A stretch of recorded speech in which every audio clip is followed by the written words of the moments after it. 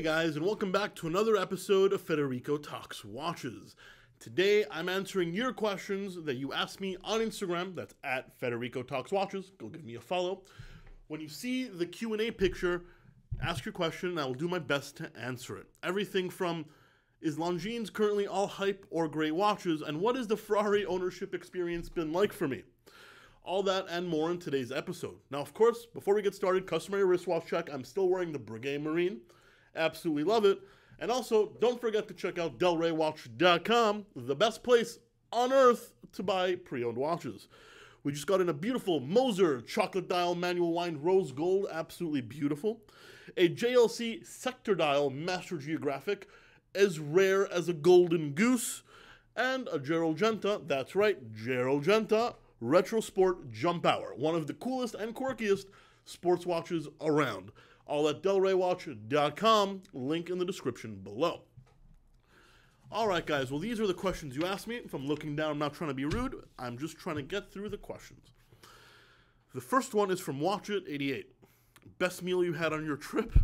Well, guys, if you don't know, I just came back from Spain to visit my parents. Yes, I'm Italian, but my parents lived in Spain and I grew up in Madrid. The best meal I had on my trip was at Taberna Laredo, where I had baby rabbit riblets. Uh, not exactly vegetarian friendly, but absolutely beautiful little riblets. And there must have been like 14 rabbits on that plate because there was like 150 riblets. I'm not sure what the math is, but absolutely delicious. Taberna Laredo. Next, Terptogram. A nerdy question, but is the chronograph complication tied to how fast or slow the movement itself is running at of the watch.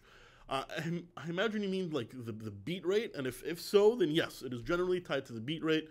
So at 21,600 beat rate movement, chronograph would run at that beat, 28,800, so on and so forth. It would equal the beat generally. Is there a way to change that? I think there is, but typically it follows the beat rate. Steph.slav.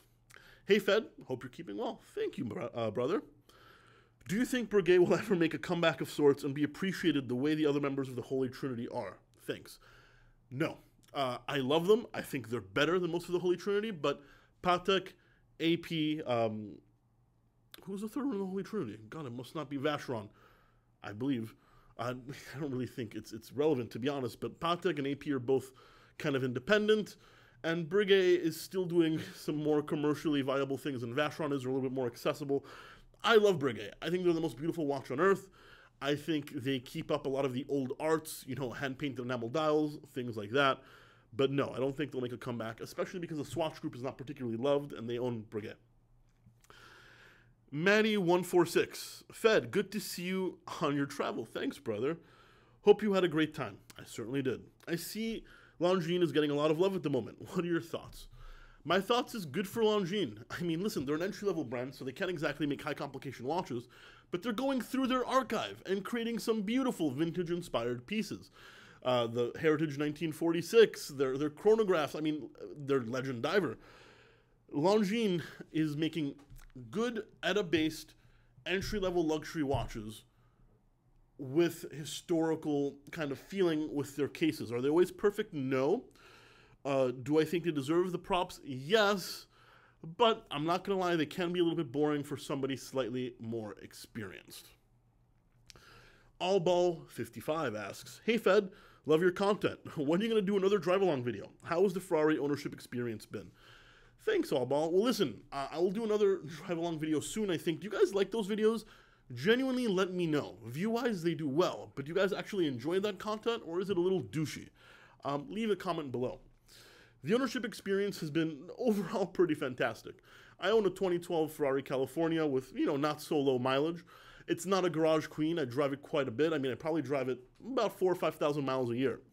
But it's also been very expensive. I did valve cover, uh, I did, uh, well, what did I do?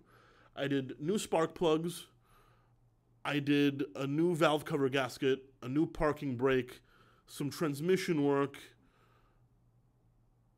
a little bit of a leak, uh, it's been expensive, you know, well over, you know, well into the five figures in repairs. But you know, if you can't afford one, then don't get one. All things considered, I love driving that thing.